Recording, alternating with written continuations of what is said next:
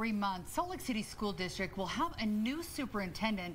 It's been a rocky year, to say the least, for Salt Lake City parents. Crisis in the Classroom reporter Chris Jones shows us how the previous superintendent was forced out and a legislative audit that sharply criticized the district for how it has managed and wasted taxpayer dollars. Guys, this 60-page legislative audit of the Salt Lake City School District is blistering. And whoever takes over will have to address these problems and a host of others. It's a big mess. Lucia Satini has two kids in the Salt Lake City School District.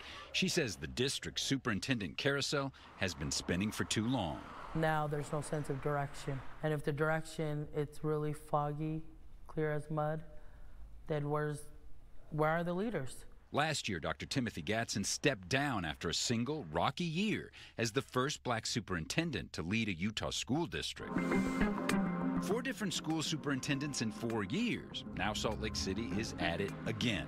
However, the district search, they say, will be different this time, including more input from parents. And instead of hiring a national search firm, the district will keep it more local, tapping the Utah School Board Association to help find the next school boss. They run the search for a lot of the superintendents in the state, and we know that they're they're capable of doing this, and we, we trust them to guide us through this process on a local level. The new superintendent will face a laundry list of problems, like regaining public trust, the district is also preparing to close some elementary schools, and administrators also want to rebuild West and Highland High Schools.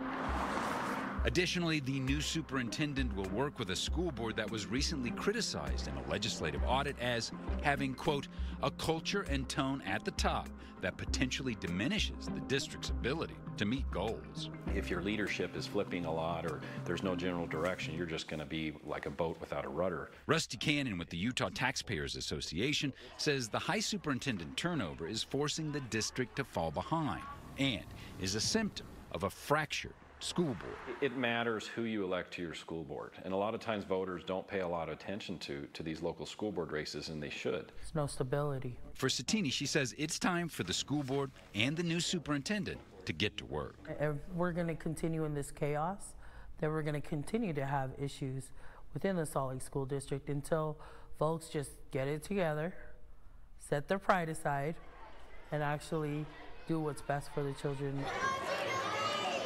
We've heard there have been more than a dozen applications submitted by potential job seekers.